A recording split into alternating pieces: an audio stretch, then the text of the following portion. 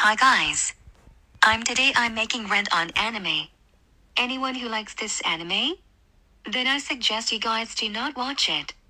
Anyways, let's get started. School Days has got one of my worst anime next to the Boku no Pico. I will tell the reason why this anime sucks in my opinion. 1.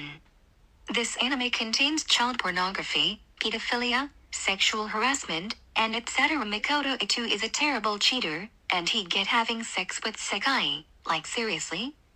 They are underage. Sekai Saionji is horrible. Katsura Kotonoha is a sexual assault and the other characters I don't give them. The animation is disgusting. The stories are lame. The music is boring.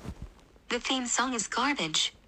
And thank God this anime got cancelled on April 21st, 2011 for the good. I don't know who likes or who hates this anime. I will leave it be. End of the rent.